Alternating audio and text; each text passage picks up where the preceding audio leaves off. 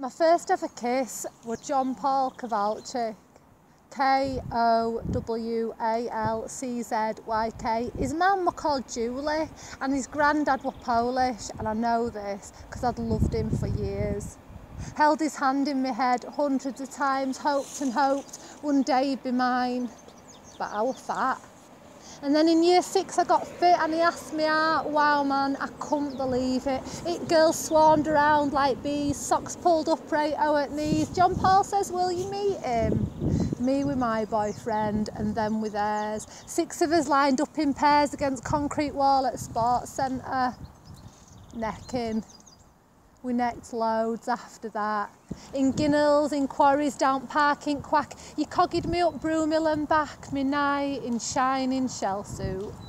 Do you remember that time on my bed?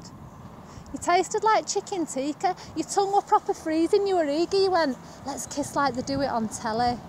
grab my face in your hands and squished your lips all over mine and all the time I'm feeling sorry for chicken. Thinking how your breath was stinking of spices and flesh, I brushed my teeth as soon as you left. You give me glass for gifts, we lit incense sticks and listened to Gabrielle. We smoked together as well. JP and Vicky, TLFE, True Love Forever, IDST, our love were boundless. It grew and grew and grew. And then on day before high school, I dumped you.